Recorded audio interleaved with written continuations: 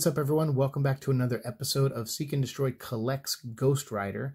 And uh, again, this is kind of a reboot of our, our show because I actually did two episodes of this a year or a year and a half ago, back when I lived in my old apartment and uh, I was missing stuff in the collection at the time, and I even missed a couple things that I had in my collection that I didn't put in those episodes uh, because I hadn't, you know, organized completely the full collection, and so I kind of rushed into it. And so I figured, you know what, better to redo it, especially with all the Ghost Rider news coming out. We're going to get a new TV show uh, starring Gabriel Luna, who played Ghost Rider Robbie Reyes in the Agents of S.H.I.E.L.D. show, and I'm very excited because he's an awesome dude. I met him a couple times uh, at Lego and at Golden Apple Comics when I worked at Golden Apple and as a fan. And he's just really, really nice. And so I always support that guy. I'm excited for him in the new Terminator movie. I hope he kills it in that movie. And I can't wait to see what they do with this Ghost Rider show. So I figured with all that, it's definitely reinvigorated my interest in doing this show uh, because I've been wanting to do it for a while and I just kind of fell behind. And I figured this could be the format we do it in where we kind of just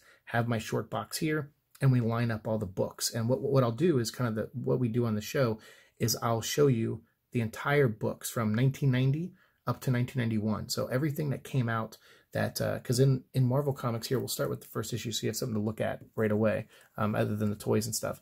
So up in the corner here, it says 1990, like really, really small, right above the price and everything.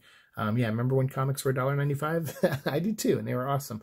Um, but uh, yeah, it says uh, 1990 right above there. So basically what I did was in May of 1990, when this, I mean, it didn't come out in May. I think this came out a little bit uh, before May uh, because usually they put like the month after or whatever. And so, uh, so anyway, what we'll do is everything that says 1990 will go from May to April. And then around April, I think they switched to like 1991, even though it's, it'll say like 1990 in the January and uh, February and I think March issues because they were just you know printing them in 1990 even though they were you know coming out in 91 uh, so that's what we're going to do so from May of 1990 to April of 91 we're going to call that Ghost Rider year one and so it starts right here with issue one uh, by uh, Howard Mackie and these are the creators of the Dan Ketch Ghost Rider. And Dan Ketch is different obviously than Johnny Blaze but we're going to find out as we go through the series that uh, that there is a very strong connection between the two. And as I go through this collection here, we'll put books up.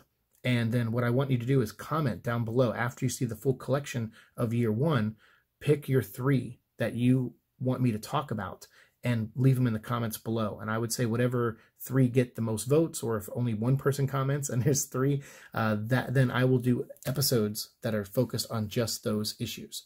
So that's what I want you to do. So just be patient, wait for the whole collection to be shown, and then pick, you know, which issues specifically you want to hear me talk about. And I'll do whole episodes on each one of those. And then we'll move on to the next year and we'll go forward like that. So hopefully you guys dig that. And, uh, and without further ado, let's keep going here. We have issue one. Like I said, came out in 1990, the birth of Dan Ketch. And in this story, he basically, you find out that uh, Dan Ketch has a younger sister and uh, I think her name's Barbara. And it's been a while since I read these, but you know, bear with me. I'll, I'll try to reread some of them, especially when you pick them. Uh, that'll help refresh my memory too. And uh, or maybe his mom's name was Barbara. I can't remember, uh, but he has a girlfriend anyway, and and a, and a sister. And his sister gets into trouble in this issue. And what happens is he's trying to save her. He finds this motorcycle in this junkyard and it has a weird crest on it. And when he presses it, when he bleeds on it, um, it actually transforms him into the Ghost Rider. And you would think, oh, that's very coincidental. That's uh, very, you know, how that happened. Like, what are the odds or whatever. But they actually do kind of explain that throughout the series and with the minus one issue that we'll get later on as near the end of the series. So it's it's pretty, you know, I wouldn't say it's like a super genius or whatever, but it, it works in a comic book kind of way. So, uh, but Dan, I really liked as a character. He's a kid from New York, um, and uh, you know he has strong values like family values, and we find out that his family and where he comes from, his heritage, is actually very big in why he gets chosen to be the new Ghost Rider. How he ends up kind of fate, you know, steering him to be the new Ghost Rider. So uh, yeah, I really like the character a lot. He's awesome, and the and the villains they bring into his world are fun too. They bring some classic Ghost Rider villains and then some more modern ones. Uh, this one I can't remember if this is the actual number two or if this is a reprinting. I think this is the actual number two uh, because there was a version of this that came with a toy in like the mid 2000s. They did a Ghost Rider um, like Marvel Legends figure uh, back when Marvel Legends before they did like the new versions of them, and it had like a, a comic book with it. I I think this is the original number two, but I think I have the comic book version Uh, the the version that came with the toy somewhere as well. Um, but they go for a pretty good amount. Like if you look these up on Mile High Comics, um, you probably saw in my last episode when I showed some of the footage. Like this this Ghost Rider series per issue, it, it can be very expensive. this is a very expensive series to collect. It can be. I mean, for for someone who works like you know nine to five and you know basically uh, you know makes minimum wage, it's uh, it's a very pricey collection for someone like me. Um, so I'm very happy that after all these years, I was able to track down you know all the issues. Uh, we have issue three here, uh, the the blackout. the I think this is his. I don't know if it's his first appearance in the comics. He might have been there before, but uh, he was in one of the movies too. I think they did a version of him in the Spirits of Vengeance, uh, the second Ghost Rider movie, uh, whatever that one was called, with Nick Cage. And I think he was a character that was used in it. Uh, not very well. I think those movies are are really terrible in my opinion. Uh, but on this show, we'll definitely we'll review them. I'll review both Ghost Rider movies for you guys, and then any appearances Ghost Rider made outside of comics, we'll we'll talk about as well. Um, so yeah, so we're just going through the first year here. We have issue four of Ghost Rider versus Mr. Hyde, like Jekyll and Mr. Hyde. Um, so yeah, he's had an interesting rogues gallery, but really I think what amps up Ghost Rider is that he interacted a lot with the, the Marvel Universe early on and that made him very interesting. Uh, but also, uh, but also, like some people felt like he was being crammed down our throats. Like, oh God, you just want us to like this guy. But I liked him. It worked on me because I thought Dan Ketch was very likable, and I think Ghost Rider is such a cool look. And the way they updated him with the new motorcycle and stuff, he just looked so awesome. Um, yeah, and I wouldn't even say he has like a 90s design because that's the thing about a lot of 90s comics or comics in general is they look like they're from the time period they're from. And I don't feel that way with Ghost Rider. I, I think he has a very timeless look. He looks cool almost in any decade, which is amazing. That's a really cool to pull that off. Um, so yeah, so like I said, he interacts with the Marvel Universe very early. We This is the gold printing of uh, issue five. There is a regular print, a non-gold printing of it too. Um, but like I said, I, I, don't care about having every version of things. Although I think maybe somewhere in another box somewhere, or maybe even back home, I have the non-gold one. Um, because when I moved back out here to California, I, I, I didn't have this full collection. Obviously, I only had like a, maybe a fourth of it or a fifth of it. So uh, any duplicate versions, you know, I was like, I gotta only fit like one or two small boxes in my car before, you know, before driving back to California. So I couldn't bring everything. Um, but, uh, but yeah, this is just so cool. So he meets the Punisher really early on, issue five. You know, he's already interacting with the Marvel Universe. And you'll see as we go through his first year here, how much with the Marvel Universe he interacts with. So we start off, we're already five issues in, he's meeting the Punisher. And it's a two-part story as well. So we have the second part here, which is, uh, yeah, Texeira's art. So cool. Um, and I think they said, like, on one of the quotes was like, people are like, "Oh, why is Ghost Rider smile all the time with that skeleton?" And uh, and I think Howard Mackie said, as long as Mark Texeira is drawing Ghost Rider, he's never going to smile, um, which is awesome. It's it's he's not a he's not a smiling, reassuring character. He's not Superman. He's a uh, he's probably even worse than Batman. Probably on the level of Punisher to an extent. When he's Ghost Rider, it's not Dan Ketch really anymore. Um, it's another entity completely. So uh, yeah, it's kind of cool. Um, so then we have that. We have this is the Scarecrow, not to be mistaken for the Batman villain Scarecrow. Um, I think that's probably why they never used him in either of the two movies was because they were like, ah, Batman's already got a scarecrow. We're not going to use this guy. I'm sure there's other reasons, mainly mainly because he's not that cool of a villain. Maybe that's also why they didn't use him. Um, but uh, but yeah, I don't know. I think about Ghost Rider a lot. I think he'll work as a TV series big time. Uh, I don't know if he'll work as a movie. I mean, you could do a movie, sure. They've done them before, um, but I I think part of this the intriguing thing of Ghost Rider is you want to you want to see him all the time. Like just seeing him in one two hour movie, I feel like is not enough of seeing Ghost Rider because uh, you're obviously going to have to have him turn from human to Ghost Rider back and forth, and you have to come up with all these like storylines of you know of why he can't be Ghost Rider in certain scenes and so forth. And I feel like in a show you could just get around that. You could just you could literally do a whole episode about Dan Ketch or Johnny Blaze or or you know Robbie Reyes or Alejandra, whichever Ghost Rider you want to do. Um, you could do a whole episode about them and have them never turn to Ghost Rider, and it works because it's you know pacing of a TV show. So I think it could work. I think it'll be a great TV show actually. Um, so now, boom! Look at this already. Fantastic Four number three forty seven. What happens in this is the Fantastic Four get taken out, um, and they go missing, and Spider Man, Ghost Rider, Hulk, and Wolverine become the new Fantastic Four. you can see them all down here. Um, they become the new Fantastic Four. What makes them qualified? to be the new Fantastic Four? Nothing, I would say, maybe. Um, I guess you kind of got like a, a sciency person with Peter Parker and Hulk. You got kind of like your thing character, but he's also smart too, like Ben Grimm is. Um, I guess you got a guy on fire, like Ghost Rider, and then what? Wolverine's like the new Invisible Woman. but yeah, they went with just like four dudes uh, to be the new Fantastic Four. Um, but I don't care because, like I said, it was Ghost Rider and I liked him, and it was so weird to me because he was the newest entry out of all these. These characters have been around for years at this point. Uh, Wolverine, you know, over a decade uh, or so, and they were all popular, very popular. Ghost Rider, he almost felt shoehorned in, but he worked. It was awesome. I, I loved it. so that's why when people get you know complain about characters being shoehorned in, I'm like, give it a chance because you never know. You could you could strike magic again like Ghost Rider did. Uh, so yeah, then we have uh, Blackout returns because again, when the book first started, he didn't have a ton of villains, but uh, they started building him up, you know, giving him more of his own villains, and then with him interacting more with Marvel characters, it was easier to bring some of those villains in at times which was nice. And then, of course, because the book was taken off and it was doing well and Marvel wanted it to continue to do well, they put Ghost Rider in Marvel Comics Presents.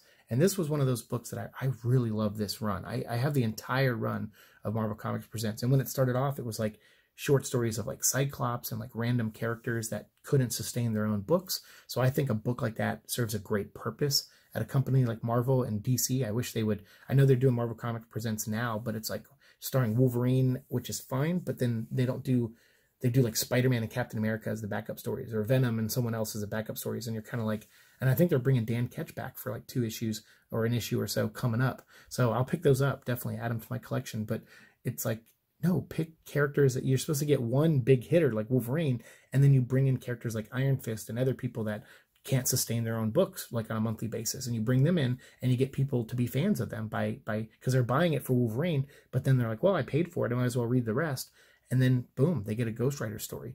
So uh, and this is actually wolverine meeting ghost rider uh, so even better because they're like you know they're already at this point appearing in the fantastic four book and people are like hey i want to see kind of them interact more like wolverine and ghost rider especially. So marvel was like yeah we already had that plan dude. So then boom here you go baptism of fire uh, Wolverine Marvel Comics Presents number 65. 64 was the last one. And then you have 66 here. And these books came out twice a month. I think every two weeks you got a new Marvel Comics Presents. And like I said, it's it's like a story or two stories on this side that are like eight page stories. And then you flip the book and there's other characters on the other side. Um, so yeah, I, I love Marvel Comics Presents. The, the, book was so awesome. And it introduced me to a lot of Marvel characters like Iron Fist, who I had never would have known of outside of that book. Because you know when you're a kid and you're like oh i can only afford like two or three books um, at the grocery store or at the comic store if there was one. Uh, i didn't live near one. I bought a lot of comics at grocery stores. Um, but uh, you know you don't have the money to be buying a ton of stuff. So having a book like marvel comics presents where you get four heroes in one book is definitely um, a good purchase. And then boom there's the new fantastic four issue 348 ghost rider hulk wolverine and spider-man um, with Art Adams uh, artwork, which is really cool. Enough said, bub. Uh, yeah, just again, just throwing Ghost Rider out there, man. They threw him in the deep end of the pool, and that dude swam like crazy. He swam because his book was on fire. Like no pun intended. It was selling really, really, really well. Um, Ghost Rider number nine. We have the X Factor and the Morlocks uh, group. So at this point, the original five X Men, like Beast, um, Marvel Girl or Jean Grey, whatever you want to call her, um, and then Cyclops, Angel, who is now Archangel, and Iceman. The five of them kind of created their own team called X Factor, and that's the book where Apocalypse was introduced. It was uh, written by Louise Simonson and some art by Walt Simonson in some of the books. So, um, and then I think like Rob Liefeld or no, yeah, maybe he came in later. I can't remember. Um, or maybe he didn't. No, he didn't come in. I think he came in yeah, towards the end, that was X Force. Yeah, sorry, I'm getting all my X Men stuff confused right now.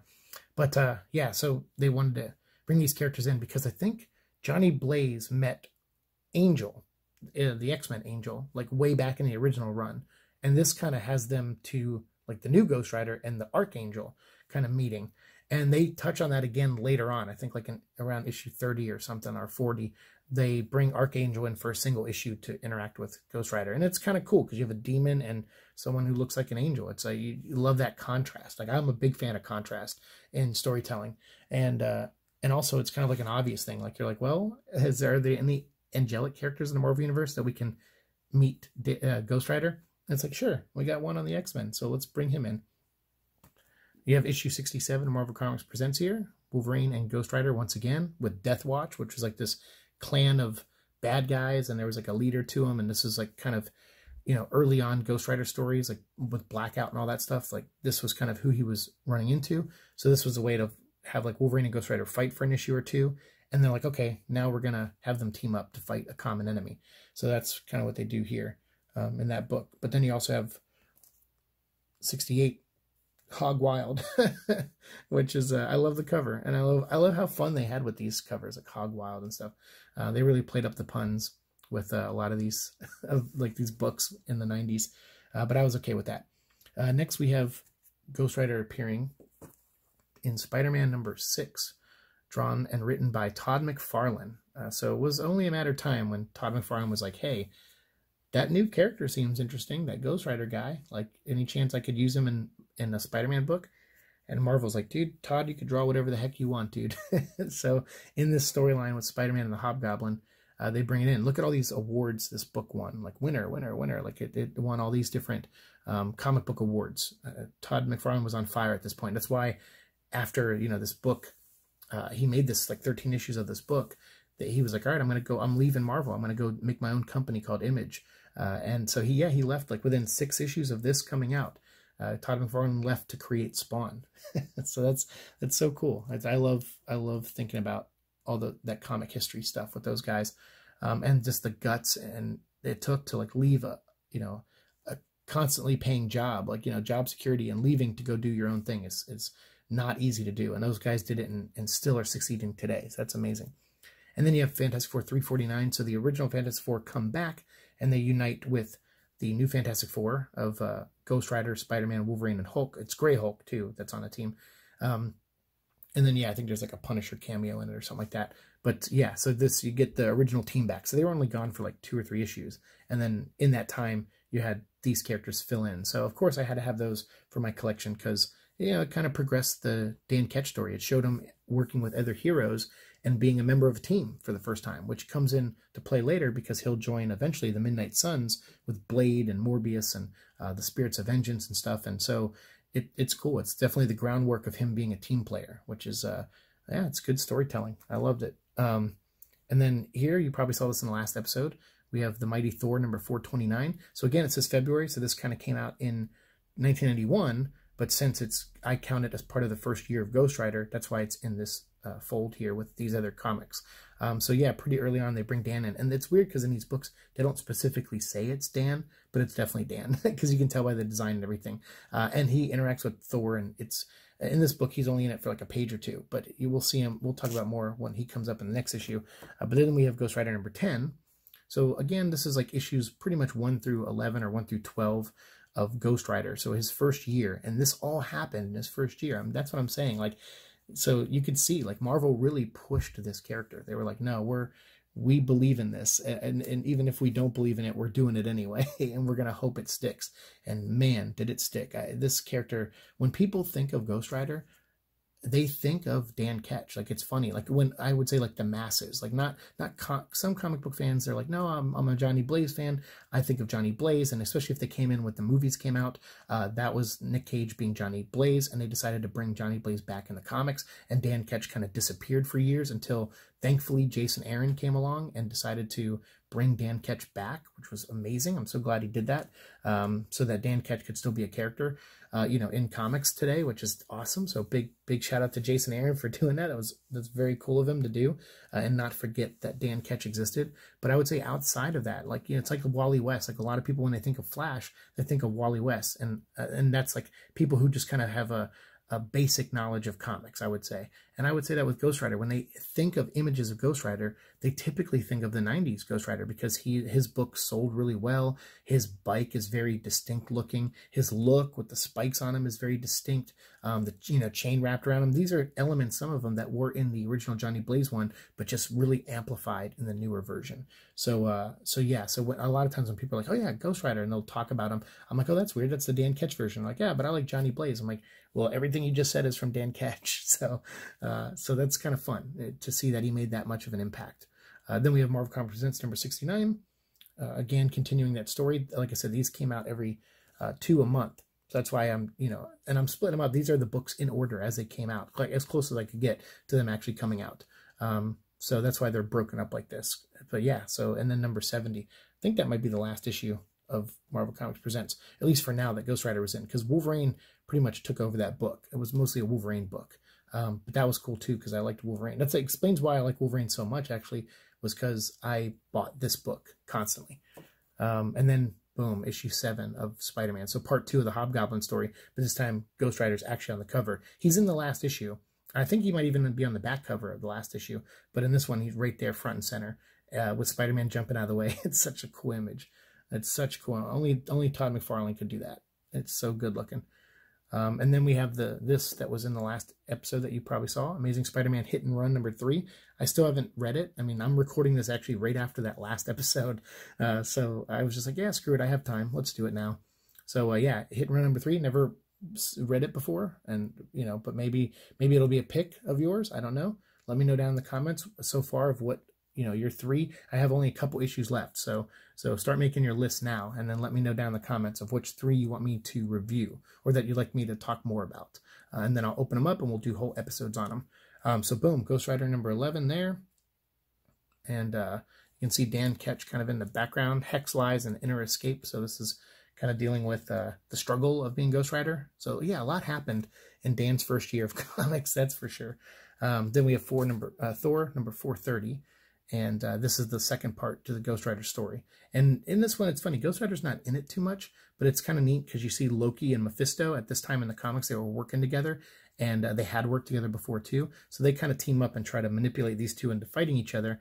Uh, and the Wrecking Crew shows up, and so the two of them do fight briefly. But uh, but then Ghost Rider helps Thor out. Uh, you know, it's very brief of a fight, and they go right into fighting the Wrecking Crew.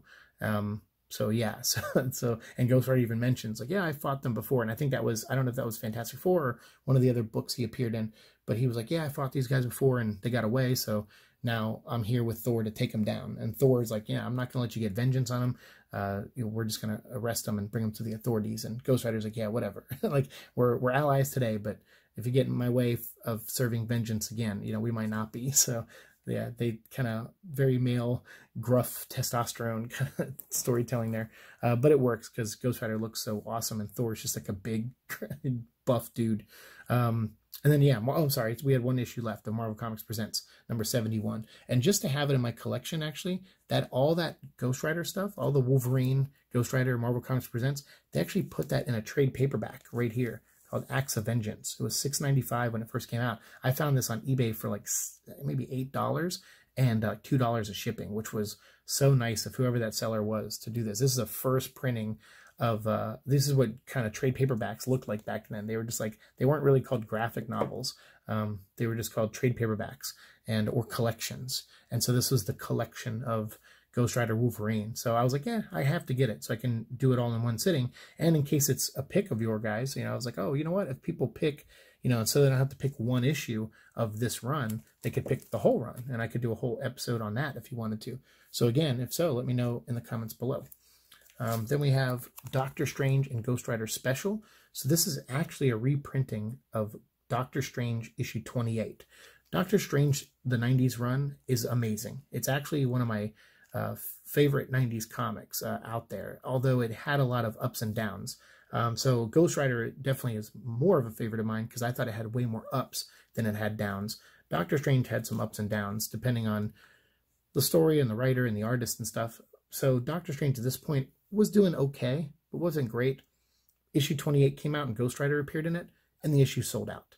Uh, so so it turned a lot of heads to Ghost uh, to Doctor Strange's comic, uh, the people who weren't reading it, and uh, that issue sold out. So what they decided to do instead of kind of doing a second printing, they decided to make a new number one and do Doctor Strange and Ghost Rider special, and they just reprinted Doctor Strange 28 in here. So that's why I don't own Doctor Strange 28. I think I had a very low print run, so trying to find a copy is a little expensive, uh, depending. I mean, I can find some on eBay for, for fairly cheap, but I figured I got the story here, and Ghost Rider's name is in the title, and so that's works for my collection a lot. So, uh, so yeah, this is just a reprinting of Doctor Strange number 28.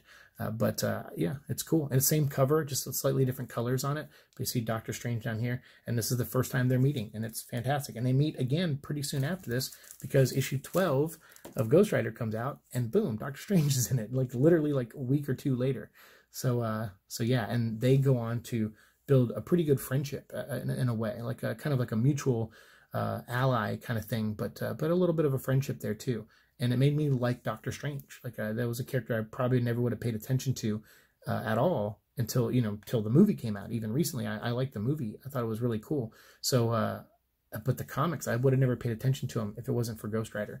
Uh, he he introduced me to Stephen Strange, and I've been a, a fan of that character for for ever since. So, uh, and then lastly, the last book that came out, April, uh, is Moon Knight number twenty five. Mark Spector Moon Knight and uh, Ghost Rider appeared in this. The Fist of Khonshu meets the Spirit of Vengeance. And uh, yeah, that's actually a really fun book. Moon Knight's a great character if you don't know. He's got uh, dual identity uh, disorder or dissociated identity disorder or multiple personality disorder. He's uh, he's he's got that going on, and he's you know trying to be a superhero at the same time. Um, so uh, yeah, it's he's very interesting. I I know a lot of people want like a TV show of him, and I agree. I think that'd be really cool. Uh, but hopefully, he'll maybe he'll pop up in Ghost Rider, the new Ghost Rider show coming out. Uh, that I think him as a cameo character could be a good thing for him as well. So yeah, let me know what you think. You know, I, I this is the first year of Ghost Rider books. Uh, basically, everything from May of 1990 up to April of 1991. So the first 12 issues, and then all of the tie-ins that I currently own. I'm definitely missing a couple. I think that fit in here, maybe one or two. Um, but uh, but for the most part, this is like the main bulk and, and the main story of Dan Ketch. So I want to hear what you think down below. Let me know. Pick three of these books that we went through. If you need to go back and you know watch through, or hopefully you took notes while you were watching this. Uh, if you wanted to, if you want to get that invested in the show, I'd love to have you guys interact with me more. That's why I came up with this show and to do it in this format. is because I wanted to interact with you guys more. So let me know in the comments below which three issues you want me to talk about. And the next three episodes will be about me reviewing those three books. Uh, and then we'll come back and we'll do year two and then so on and so forth. So again, let me know down in the comments below and we'll continue our conversation down there. Thanks so much for watching my show. As always, like, share, subscribe, all that fun stuff, and I'll see you in hell. Peace.